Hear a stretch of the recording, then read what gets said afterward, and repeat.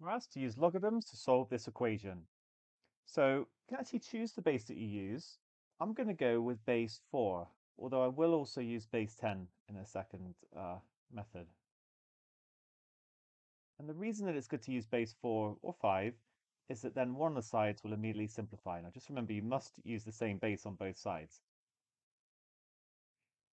Because when you bring the 2x plus 1 down over here, you actually get log to base 4 of 4, which is just 1, so it disappears.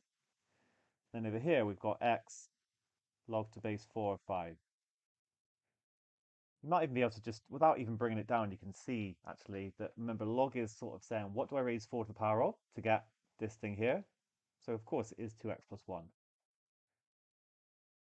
Okay, now you got a couple of options. You could work out what log to base 4 or 5 is if you struggle to kind of deal with these things um, exactly, but I'm gonna I'm gonna deal with it exactly. 1 is going to equal x log to base 4 of 5 minus 2x. And I can actually factorize the x out. Definitely want to talk about this method because, you know, in another question you could be asked to leave it exact. And then we can just divide by all of that so x will equal 1 over log to base 4, 5 minus 2. Again, it's only at this point I'm going to get my calculator out and put it in.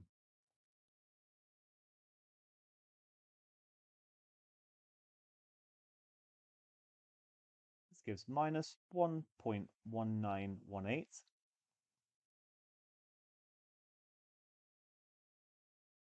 or minus 1.19 to three significant figures. So if you struggle a little bit more, then one possible strategy is to find out what log base 4 of 5 is. 1.1609.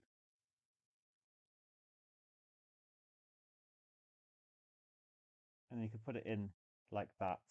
And then now we could, we've sort of turned it into an equation that's a little bit easier to deal with because there's no logs involved. So we could minus the 1.1609 from the 2, and then minus 1 from both sides. So do 2 minus this to give 0.8390. x equals minus 1, and then divide through minus 1 by this, you'll get the same answer. Okay, so it's, it's a possible method. Some quite often, you know, people do quite like it. It's a little bit easy to understand, but I would say this is also really the way you want to go for questions where you have to leave it exact.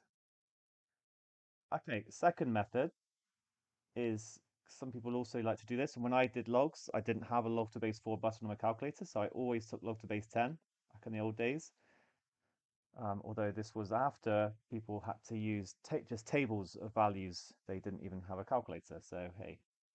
So log to the power of 4, sorry, log to 4 to 2x plus 1 equals log 5 to the x. Now this is base 10. I, I don't need to write base 10 because it's implied. Now I bring down the 2x plus 1 and the x expanded out. So 2x log 4. You can see it's a little bit more complicated because of the, the base. I end up with logs on both sides. Okay, and you can either do my second method and kind of um, substitute in, or I'm, we're going to do it exactly. So log 4 will equal, I'm going to factorize the x out, log 5 minus 2 log 4 and then x would equal log 4 over log. Being able to do it to other bases, such as base 10, is also important because you might be asked to, for example, might be show that, show that the solution can be written like this, and then you'd have to use base 10. And let's just check that it does give the same answer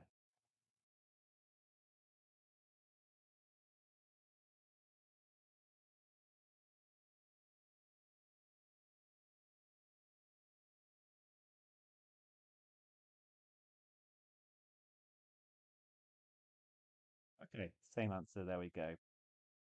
Right, so a few different methods. Hope you're happy with that. Well done.